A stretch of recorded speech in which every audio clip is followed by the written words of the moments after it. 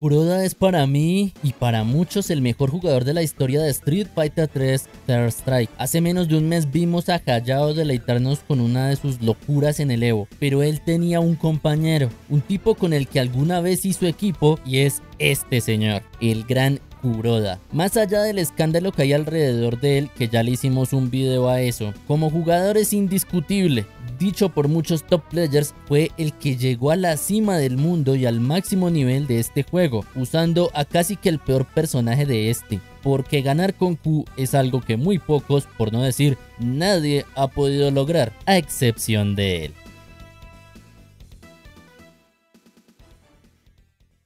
Kuroda es un tipo que empezó a hacerse famoso a nivel más global gracias a los proyectos que hacía con Daigo Umehara. Ellos iban a hacer una película donde él iba a ser el protagonista, ya que una de sus pasiones es la actuación. Este proyecto se cae por el escándalo del abuso que tuvo, pero dentro de la comunidad de Street Fighter ya era una celebridad. El tipo desde sus primeras apariciones en los Tougeki o Super Battle Opera ya causaba sensación por ser el único usuario de Q que era capaz de hacer ver al personaje como si fuera otro de los top tiers del juego. Por el año 2005 fue su primera aparición en estos torneos que iban teniendo cada vez más fuerza, a pesar de ser la época más muerta de los juegos de pelea porque ya aquí las consolas dominaban y los arcades estaban totalmente de capa caída, no sería sino hasta tres años después que se reactivaría todo gracias a Street Fighter 4. Eso sí, en Japón la cultura del arcade seguía y Kuroda sorprendería al mundo al hacer equipo con Hayao, otra leyenda del juego en el SBO y que ya había sabido quedar subcampeón de este torneo. Este equipo fue tan inusual que sorprendería la run que hicieron, ya que lograron llegar a semifinales usando uno a Hugo, que ya sabemos cómo juega, y el otro a Q, un personaje que está tan abajo en la tier list que prácticamente nadie lo usa, pero este tipo era tan animal que sin importar a quién tuviera enfrente, los destruía. Un ejemplo de eso es cómo le gana a Ricky Ortiz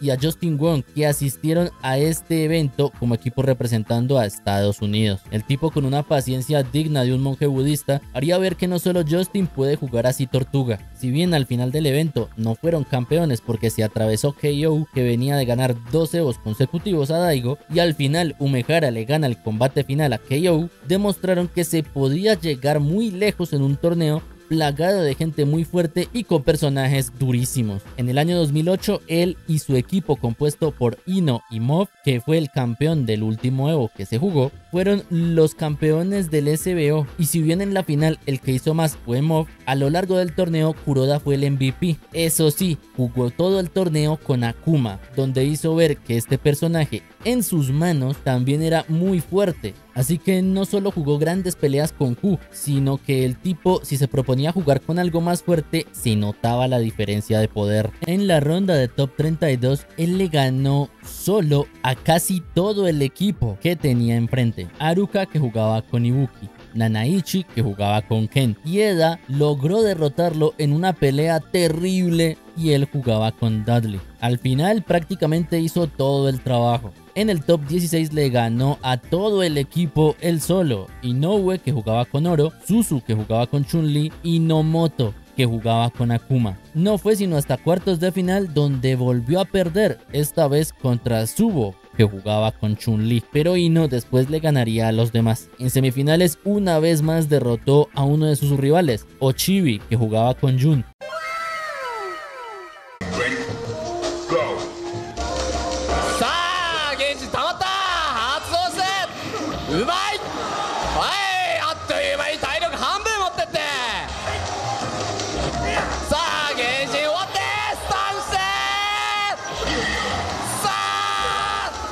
Rikimaru que jugaba con Chun-Li lo pudo derrotar. Y no luego derrotaría a los que quedaban y como verán no fue sino hasta la final donde Kuroda si bien perdió su pelea fue la única vez que Mob jugó en todo este torneo y con eso llegaron al primer lugar. La run de Kuroda aquí fue tan brutal que sin ninguna duda fue el MVP, demostrando que el tipo lo único que hacía era nerfearse a sí mismo jugando con Q, porque le gustaba el personaje. Justo por esta época él atravesó probablemente su época más competitiva, ya que no solo le gustaba jugar con Q, sino que el tipo ponía diferentes personajes solo porque le daba la gana. En el SBO del año 2010 volvería a quedar campeón, siendo el MVP de su equipo, pero jugando con Ken, una cosa muy rara pero no se suponía que ganaba con el peor personaje. Sí, el tipo siempre llegó a instancias finales en este evento jugando con Q. Cuando él quería ganar un torneo, simplemente lo hacía poniendo cualquier otra cosa. Dos SBO a su espalda lo respaldan, pero para mí su mayor hito y lo que lo convirtió en una leyenda de este juego y que fuera algo completamente fuera de este mundo es que en el Cooperation Cup del año 2005 hizo algo inimaginable.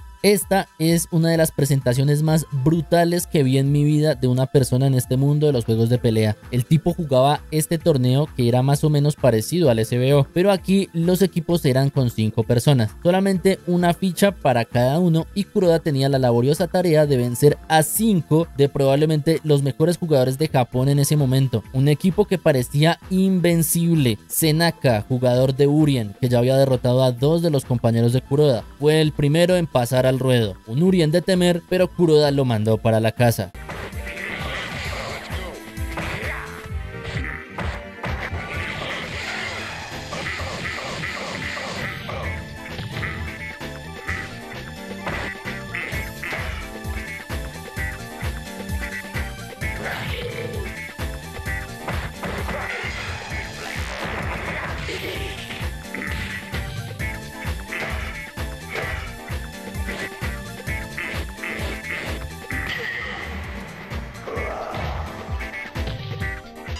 El siguiente, Yuki Otoko, jugador de Akuma, al que le hizo un comeback salvaje en el último round.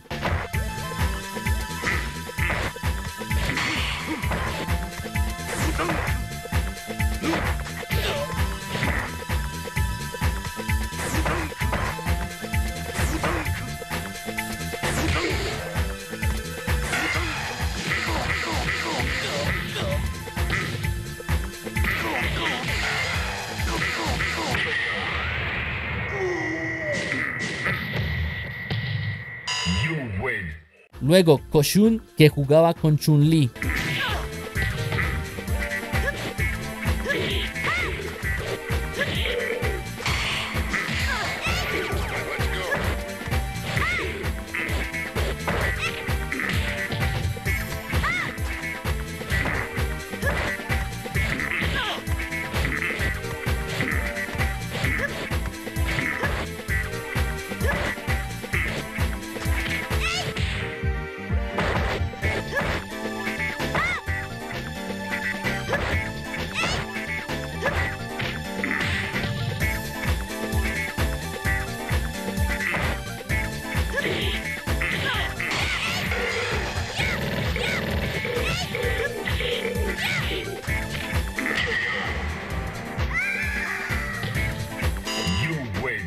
Después Momochi, que por esta época jugaba con Jun. Si bien años después sería un tipo súper amenazador con Makoto, aquí jugaba con ese, pero a Kuroda no le importó.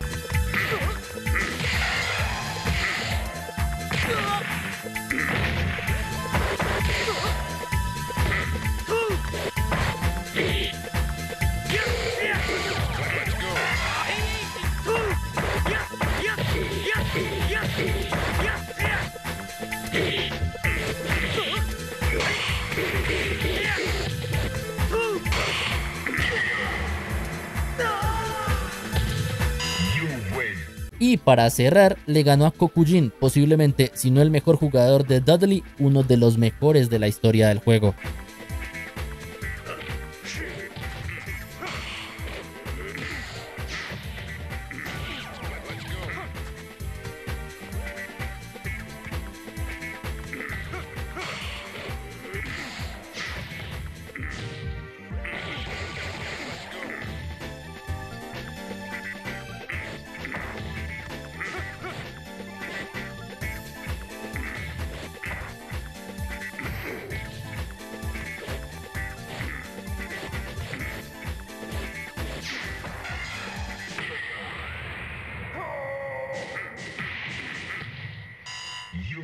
Esta victoria fue tan increíble que en Estados Unidos muchos quedaron impresionados al ver el nivel tan vasto que tenía Kuroda. Desde ahí empezó a hacerse conocido en el ambiente internacional y claramente después ganaría todo lo que le dio la gana con un montón de personajes del roster. A su vez, en todos los Tougeki que jugaba con Q estaba en instancias finales. En 2009 fue el colmo del descaro venía de ganar el año anterior con Akuma, haciendo equipo con Moff y con Ino. En esta ocasión le tocó jugar solo con Moff, fue el único equipo en el que estaban solo dos participantes. Los demás eran tríos. El tipo porque quiso, porque le dio la gana, volvió a jugar con Q a pesar de que tenía el mejor Akuma del mundo, sabiendo que estaba en total desventaja no solo en miembros del equipo, sino en el mismo matchup de personajes, llegaron hasta semifinales. Moff prácticamente no jugó en todo el torneo, Kuroda le ganó a todos uno detrás de otro hasta llegar a semifinales. Gente por el camino como Asahi, Pierrot, Jack Kun, Nuki, a todos los iba fumigando uno detrás de otro. No fue sino hasta que llegó Momochi, que estaba en su día de inspiración divina, quizá el día que más nivel tuvo en su vida, que el tipo no solo le ganó a Kuroda, sino que le ganó a todos de ahí para adelante. Moff, que fue la única pelea que Kuroda le dejó jugar y la perdió. Luego en la final a Ochibi, que venía de eliminar en la semi a un equipo él solo. Luego a Tokido y a KO, doble campeón de Evo.